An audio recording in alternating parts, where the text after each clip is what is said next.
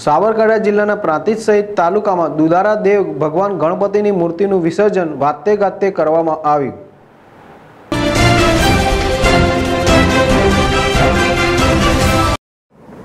પ્રાંતિજના approach road ઉપર આવેલ ગોપીનાથ સોસાયટીમાં, સોસાયટીના રહીશો દ્વારા ગણપતિ મહોત્સવ યોજવામાં આવ્યો હતો, જેમાં દર વર્ષની જેમ આ વર્ષે પણ ભગવાન વિઘ્નહર્તાની મૂર્તિનું સોસાયટીમાં પાંચ દિવસ માટે સ્થાપના કરવામાં આવી હતી. તો સોસાયટીના સભ્યો તથા ગણેશ યુવક મંડળ દ્વારા ભગવાન ગણેશની સવાર સાંજ આરતી ઉતારી પૂજા અર્ચના કરવામાં આવતી હતી અને પાંચમા દિવસે વાતે ગાતે દાદાની મૂર્તિનું વિસર્જન કરવામાં આવ્યું હતું.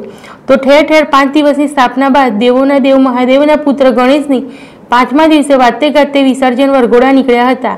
શ્રી માર્કંડેશ્વર મહાદેવ મંદિર ખાતે આવેલ મોટી બોક ખાતે ભગવાન ગજાનંદ દાદાની મૂર્તિઓનું વિસર્જન કરવામાં આવ્યું હતું. અને પ્રાંતિજ સહિત તાલુકામાં ઠેર ઠેર પાંચ દિવસના ગણપતિની મૂર્તિઓનું વિસર્જન કરવામાં આવ્યું હતું. મિતેશ શાહ સાથે સંજય રાવલ જડેશ ટીવી પ્રાંતિજ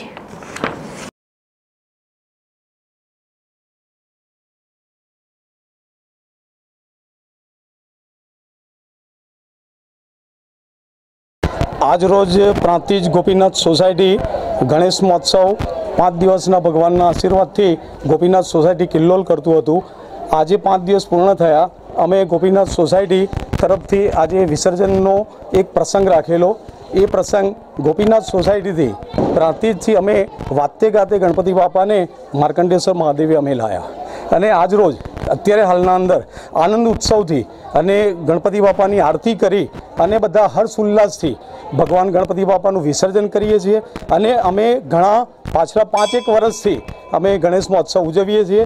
વચમાં એક ગેપ આપેલી, હવે આજથી બીજું અમારું વર્ષ ચાલુ થાય છે. એટલે આજે ગણપતિ બાપા અમારી ગોપીનાથ સોસાયટીના ઉપર એમનો આશીર્વાદ રહે અને તમામ અમારા ગોપીનાથ સોસાયટીના રહેવાસીઓ ઉપર ભગવાનની અસીમ કૃપા રહે. આજે વિદાય કરી રહ્યા છીએ તો મનમાં દુઃખ થાય છે.